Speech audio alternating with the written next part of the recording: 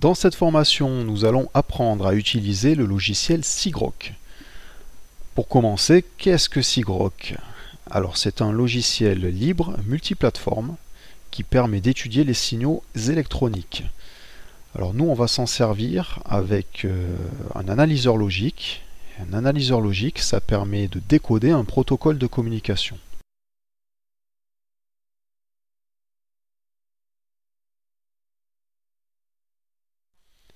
Déjà, on va aller faire un tour du côté des analyseurs qui sont supportés par le logiciel. pour cela, je vais dans la rubrique Hardware.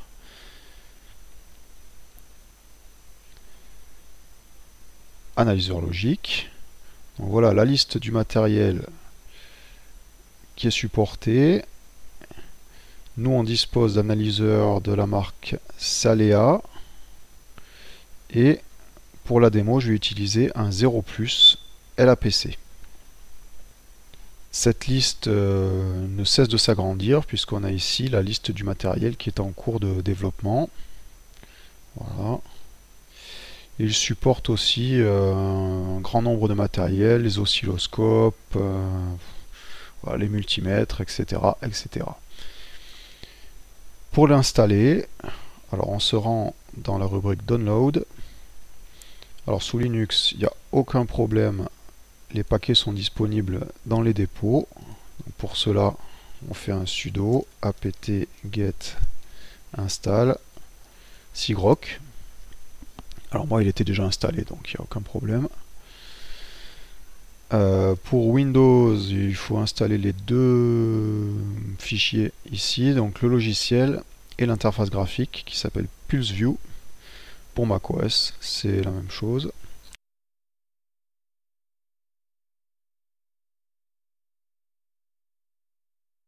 on va lancer le logiciel. Donc pour cela, on ouvre un terminal et on tape Pulse View. Le logiciel se charge. On va vérifier la prise en compte du, du matériel. Donc moi c'est un LAPC. Donc menu fichier Connect to Device. Je choisis dans la liste mon analyseur logique, je fais scan, il n'est pas encore branché, donc forcément on trouve rien. Alors je vais ouvrir une console, et on va faire un LS USB pour voir la liste du matériel connecté sur mon port USB. Donc là j'ai 1, 2, 3, 4, 5, 6, 7, 8, 8 périphériques. Je branche mon analyseur. je refais un LS USB, et là cette fois-ci j'en ai un de plus, j'ai le 0 qui a été détecté. Donc maintenant il n'y a aucun problème, il devrait être disponible. Voilà, je valide.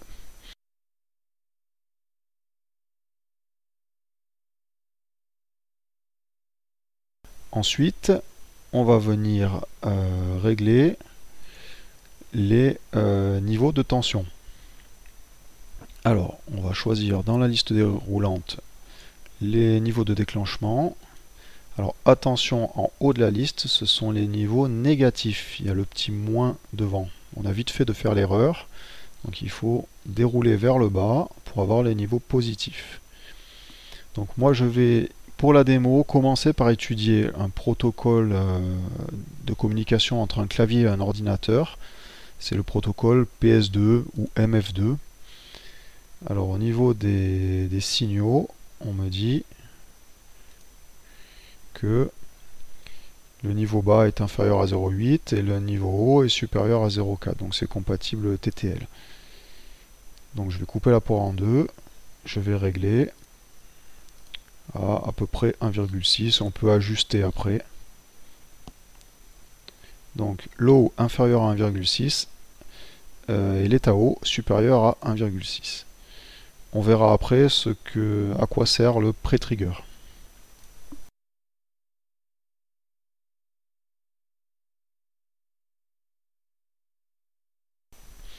Au niveau des broches, alors là je n'ai besoin que de deux broches, donc je vais toutes les désactiver et je vais utiliser la première et la seconde. on peut évidemment les déplacer. Je vais les renommer. Alors, A0, elle s'appelle data. Et A1, c'est le signal d'horloge. Voilà, le protocole, on doit l'avoir euh, quelque part. Voilà, j'ai une horloge et un signal de données. Donc data, l'horloge.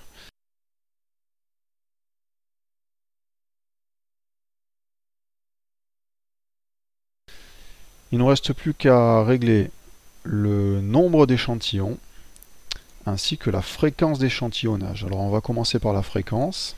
Pour régler la fréquence, rappel, si on respecte le théorème de Shannon, qui nous dit que la fréquence d'échantillonnage soit au moins deux fois plus élevée que la plus haute fréquence du signal.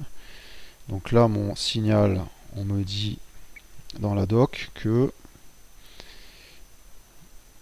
le signal, une fréquence qui varie entre 10 et 20 kHz. Donc 2 fois 20 kg, ça fait 40 kHz.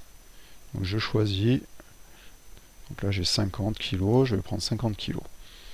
Alors le nombre d'échantillons, c'est lié à la mémoire de l'appareil. Donc plus je prends d'échantillons, plus je vais consommer de mémoire. Et donc moins je vais avoir de, temps disponible.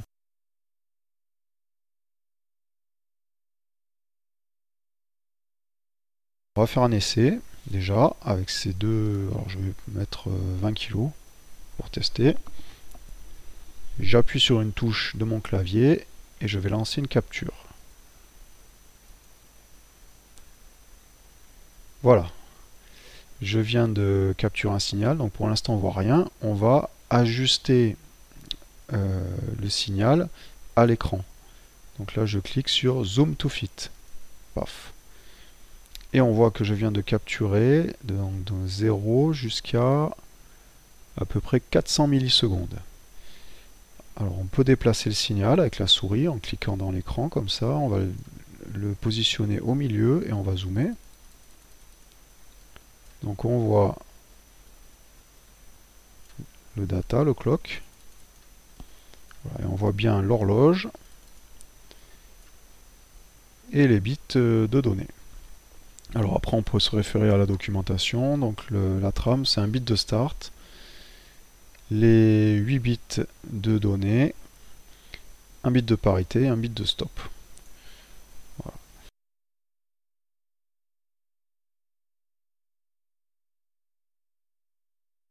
On va apprendre à utiliser les curseurs. Alors les curseurs View, Show Cursor, voilà. Et là, je peux par exemple mesurer le temps de répétition entre deux signaux. J'ai affiche. si je veux mesurer à peu près, euh, à peu près. Et là, je vois que la répétition d'une touche, c'est tous les 88,6 millisecondes. Après, on peut zoomer sur le signal et là, on peut carrément mesurer la fréquence de l'horloge. Alors, je vais voir deux fonds d'horloge. Voilà, un, deux. Voilà, c'est à peu près bon. Donc là, mais en répétition, c'est ma période, c'est à peu près 80 microsecondes. Donc 80 microsecondes, 80 x 10 6. Ça nous fait une fréquence d'à peu près 12 kHz. Voilà, on m'a dit, que euh, voilà l'horloge, donc elle peut varier entre 10 et 20 kg, donc ça, ça correspond. Hein. là c'est 12 kg 5. Donc voilà pour euh, pour la partie curseur.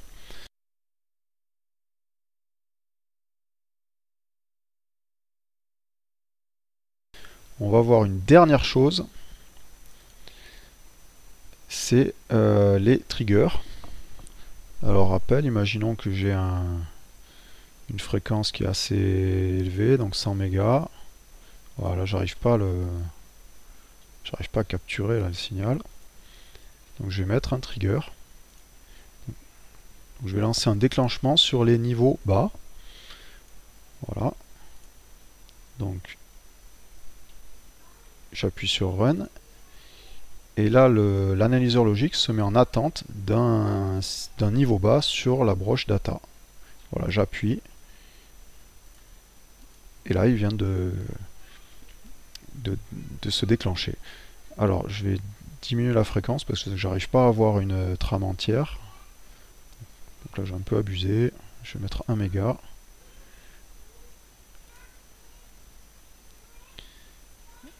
Je vais dézoomer. Voilà. Donc là, il semble que ma trame n'est pas complète.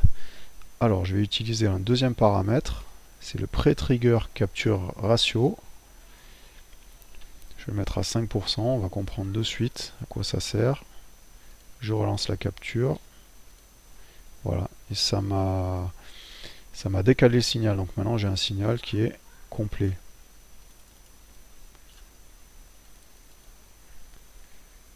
Voilà, on va, on va l'augmenter encore, pour ceux qui n'ont pas compris, 10%. Voilà, ainsi de suite.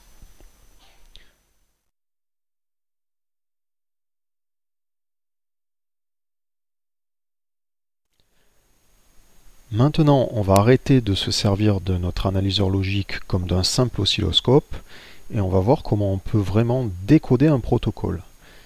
Alors, je rappelle que la liste des protocoles supportés est ici, dans Protocol Decoders. Alors en vert, ce sont tous les protocoles supportés.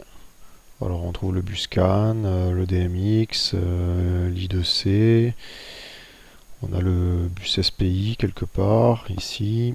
On a les protocoles euh, infrarouges, IRNEC, RC5.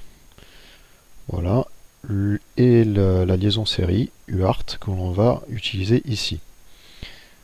Alors un peu plus bas on a la liste des, protocoles sur lesquels certaines personnes sont en train de travailler. Et là on trouve notamment le protocole euh, PS2 quelque part. Alors, qui est ici, voilà, sur lequel quelqu'un a planifié un développement au niveau du câblage, alors moi j'ai deux microcontrôleurs qui vont se parler l'un à l'autre alternativement. Alors j'ai un Arduino et une carte embed. Voilà. Donc l'Arduino il va envoyer une phrase et à la fin de la phrase l'autre il va lui répondre. Allez c'est parti. Je lance le logiciel. Et je vais déjà connecter mon analyseur logique.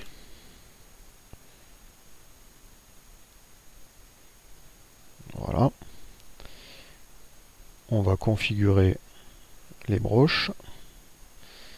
Donc j'ai deux broches. Alors sur ma liaison série, donc j'ai la broche TX et la broche RX. Alors la broche A0, je vais l'appeler TX. La broche 1, RX. Ne pas oublier de connecter la, la masse, donc la broche GND, sur la masse d'une carte et ne pas oublier de relier euh, la masse commune, donc de mettre les deux masses des cartes en commun, sinon elles ne vont pas avoir la même référence. Les niveaux de tension, alors j'ai un Arduino qui fonctionne en 0,5 volts et une carte embed qui fonctionne en 0,3 volts 3. Alors je vais couper la poire en deux. Je vais prendre 1,5 volts et on ajustera si ça ne fonctionne pas. Donc les niveaux euh, bas inférieurs à 1,5 et tout ce qui est supérieur à 1,5 volts, ça sera considéré comme un niveau haut. La fréquence d'échantillonnage, je vais mettre 50 kg. Et euh, la mémoire, on va commencer avec 20 euh, 000 échantillons. Allez, c'est parti. Donc j'ai j'ai mes cartes qui dialoguent et je vais lancer une capture. Voilà, je dézoome. Et là, on voit bien que j'ai la carte 1 euh, et 2 qui se répondent alternativement.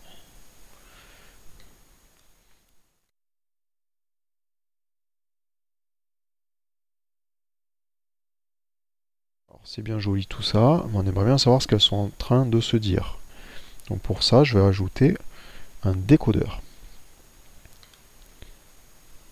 Alors c'est le menu Decoders, Add, et là je vais chercher dans ma liste UART. Je vais le configurer, parce que là pour l'instant, voilà, il décode rien du tout. je le configure, je clique sur la broche UART. RX, c'est RX, TX, c'est TX. La vitesse, donc 9600 mots. 8 bits de données, pas de parité, 1 bit de stop, le LSB en premier, et on va voir s'il a réussi à décoder quelque chose. Et là, comme par magie, on voit le texte. Bonjour, je suis la carte embed et j'ai déclenché une réponse sur le caractère point d'exclamation. Et sur point d'exclamation il y a bonjour je suis la carte Arduino donc la carte Arduino qui répond avec les deux caractères de fin de chaîne que je vous laisse euh, décoder. On peut aussi euh, mettre en place un trigger. Alors c'est ce qu'on va faire. Donc je règle la fréquence sur 100 kHz et je vais sur ma broche TX et je mets un trigger sur le niveau bas. Et je vais mettre l'analyseur logique en attente. Voilà. Et je relance une communication. C'est parti. Voilà. L'analyseur s'est déclenché. On va voir ce qu'il a capturé